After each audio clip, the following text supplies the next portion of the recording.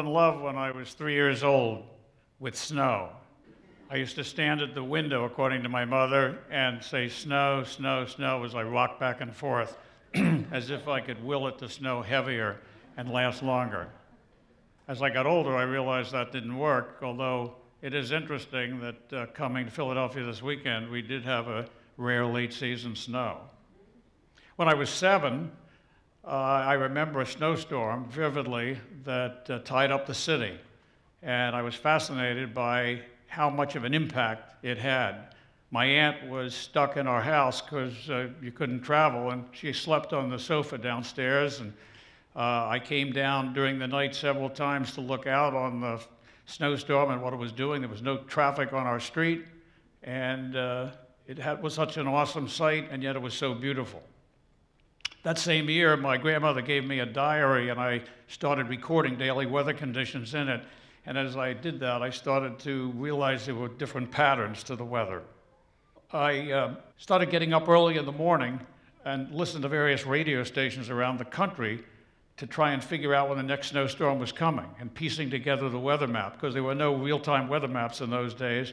And uh, that started to give me a feel for how things evolved and uh, some insight into weather patterns. I was entrepreneurial as a child, and I was always looking to make money.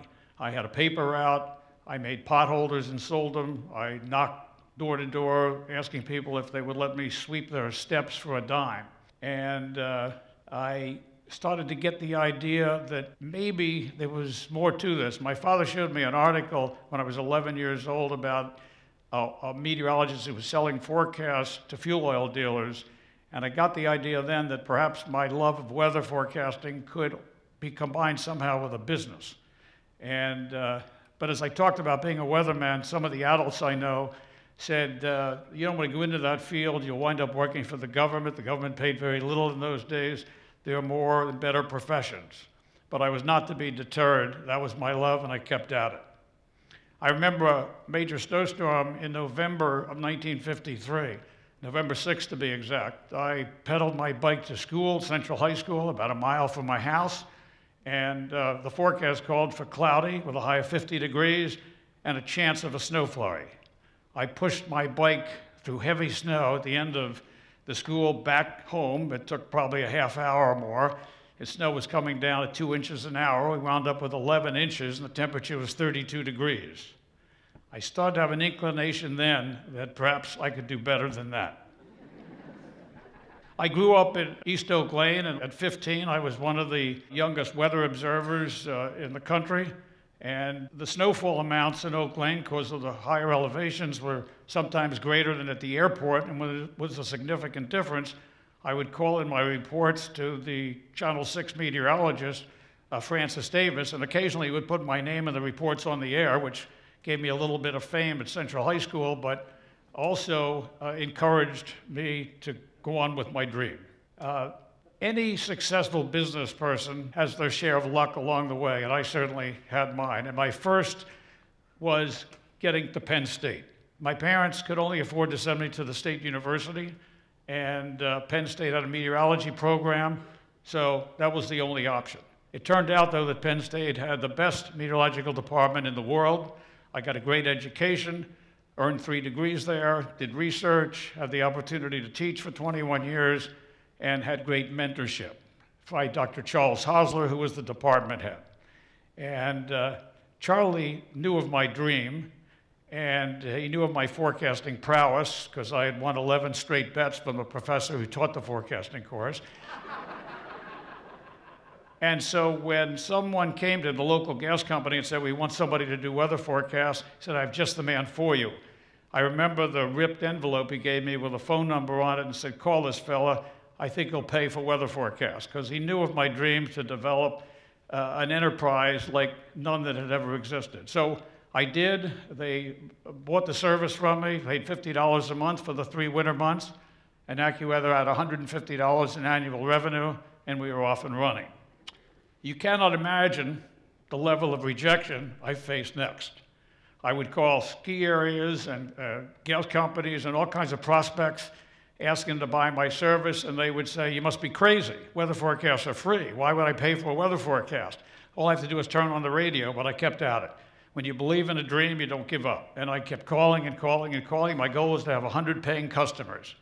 And I finally reached that goal after 25,000 calls, which meant I had 24,900 no's, but I reached it.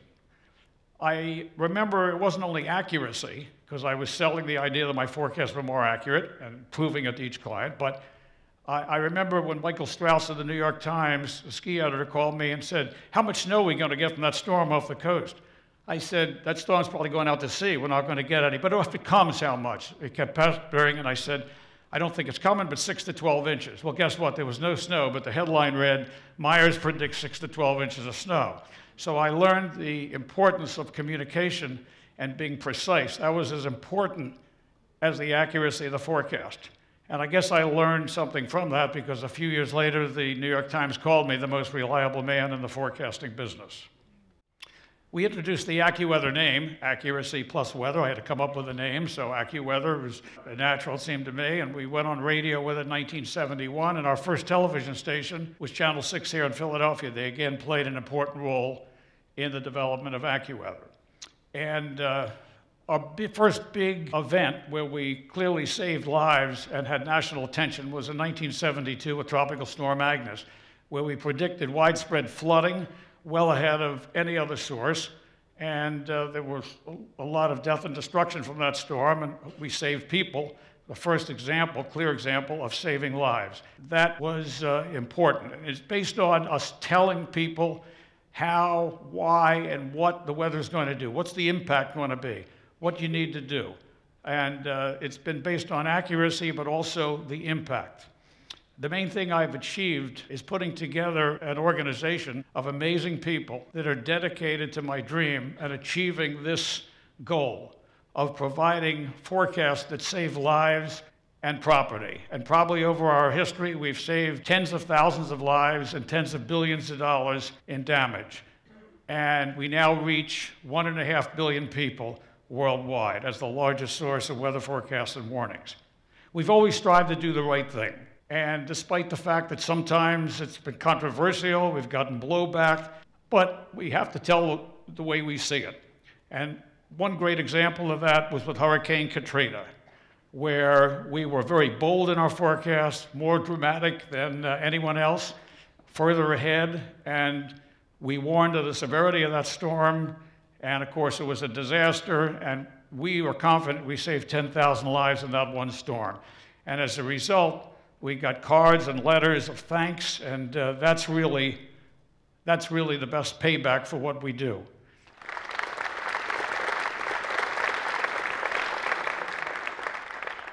Congress recognized what we did by saying AccuWeather issued a forecast predicting the target of Katrina's landfall nearly 12 hours before the National Hurricane Center issued its first warning and argued the extra time could have aided evacuation of the region. Let me give you a few other examples. Uh, up there is uh, Wrigley Field, and Eddie Vedder was doing a concert, and he got on the stage and said, We just heard from AccuWeather, we need to clear the field. Uh, the Pearl Jam uh, concert has to stop. They did. Severe lightning hit the stage. 15 minutes later, nobody was injured. They resumed the concert, and everything was fine. Union Pacific, one of our clients, uh, got a warning from us that a tornado was heading toward their tracks in Kansas. They stopped the trains two miles apart. The tornado went between the trains. Both engineers saw it. Nobody was injured. The, the Caterpillar plant destroyed in the bottom. Uh, that's a factory that uh, subscribes to our warnings. There were no other warnings in effect. We gave them 23 minutes notice. They had 80 some people in the plant. They all got to safety. As you can see, it looks like an atomic bomb hit as a tornado destroyed the plant. That's what we're all about. Now I want to present you with a vision of the future. Imagine you're in a smart car with your family heading on vacation, and a rapidly moving coastal storm is now throwing wind and heavy rain in your path. The, the uh, car readjusts your route to avoid the worst weather to get you there the safest way and in the quickest time. Uh, imagine a refrigerator in your house that knows what's in the refrigerator and, and we notify it that a ice storm is coming and you may be trapped in your house for three days and it's going to start in five hours. It immediately tells you, go to the store now, and you need to buy these things because if you don't, what you have in the refrigerator may be spoiled, those things within three days. Uh, so also, we've already done some of the future in terms of the length of forecast. We were the first to have a 10, 20, 30 day forecast, 45. Very soon we're going to introduce a day by day forecast through 90 days for every place on the planet. We also have MinuteCast, which gives minute by minute forecasts for the next two hours for every address. Consider your health. Here's a, an example. You, you suffer from allergies or asthma or migraines, and you're about to go on a bike ride into the forest, and it tells you on your wearable or on your phone or your watch, delay for two and a half hours. The pollen count will be down then. You don't have to worry about an asthma attack or a migraine. So you put off your bike. It may not seem like your bike ride may not seem like a lot, but clearly you're going to have much better health and, and quality of life for the next couple of days. We'll never stop innovating and expanding on my dream. In times of severe weather, we strive to help people uh, answer the most important questions Is my child safe? Is my mom okay? Will this hurricane impact my business? My dream was to create a global enterprise that answered these and other significant questions. My message to you today is if you have a dream, follow that dream. Don't give up. Whether you're 3, 33, or 73, follow that dream and don't give up. And if you do, you'll have a happier life. And if you can help a child follow his or her dream, there's no greater satisfaction. Following my dream obviously meant a lot to me. Thank you.